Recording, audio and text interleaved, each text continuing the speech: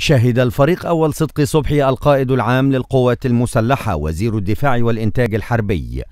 البيان العملي الفاتح 16 والذي تجريه وحدات الحرب الكيميائية. ويشمل البيان تنفيذ عدد من الأنشطة التدريبية والعملية على استخدام عناصر الحرب الكيميائية في التأمين الكيميائي والإشعاعي للقوات المسلحة مع معاونة أجهزة الدولة في المجالات المختلفة. والذي يأتي في إطار خطط التدريب السنوية المخططة لتشكيلات ووحدات القوات المسلحة. شمل البيان عرضا للأجهزة والمعدات التخصصية الحديثة التي زودت بها إدارة الحرب الكيميائية وكيفية التعامل معها واستخدامها بمهارة عالية وبمعدلات زمنية قياسية. أظهرت المستوى التدريبي المتميز في التعامل مع الخواص الفنية والتكتيكية للأسلحة والمعدات وتحقيق أقصى استفادة منها.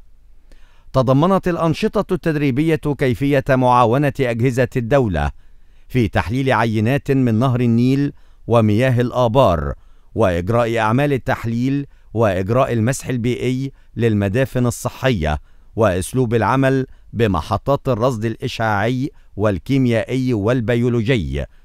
والمتابعة المستمرة لأعمال الرصد الإشعاعي على كافة الاتجاهات والمنافذ الحدودية. أظهر البيان المستوى الراقي الذي وصلت إليه العناصر المشاركة من مهارات ميدانية عالية والسرعة في اكتشاف وتحديد الأهداف والتعامل معها مع إدارة وتقييم وتحليل النتائج باستخدام أحدث الأجهزة والمعدات. وفي نهاية البيان أشاد الفريق أول صدقي صبحي بالأداء المتميز الذي وصلت إليه العناصر المنفذة للبيان وما حققته من مستوى راق في إعداد وتدريب الفرد المقاتل.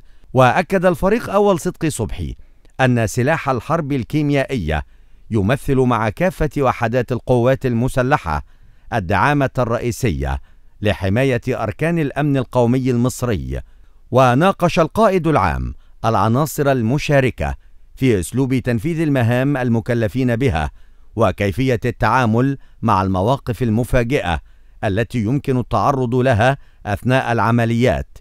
وطالبهم بالاستفادة من كل ما هو جديد في مجالات العلم والتكنولوجيا.